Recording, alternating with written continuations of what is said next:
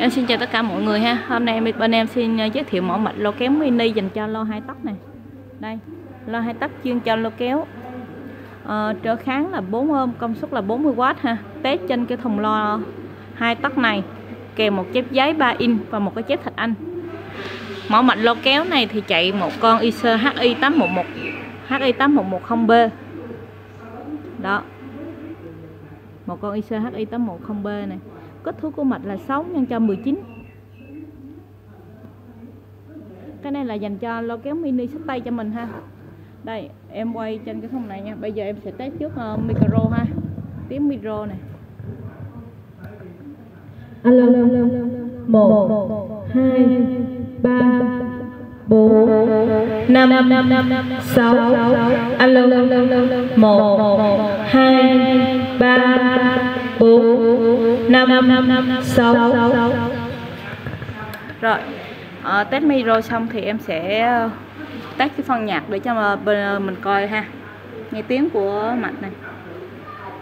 Tất nhiên cái này em quay bằng điện thoại cho nên là đa số nó sẽ chất lượng nó sẽ giảm đi còn 30 tới 40 phần trăm thôi nha các anh.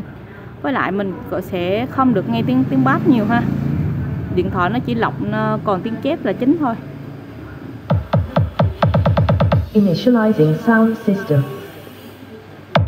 Sound system activated.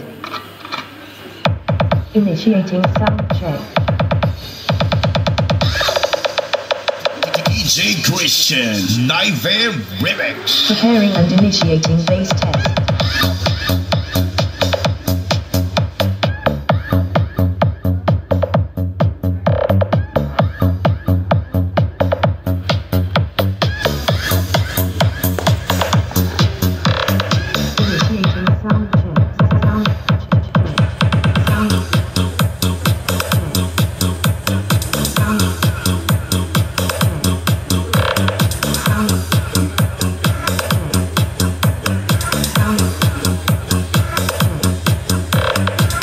Initiating sound check.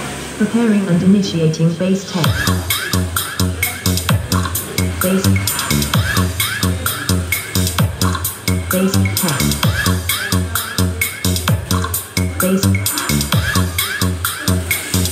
Bass test. Preparing and initiating vocals test.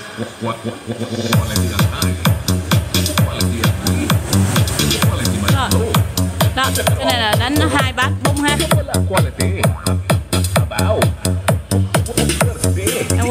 quay lại bên trong mạch này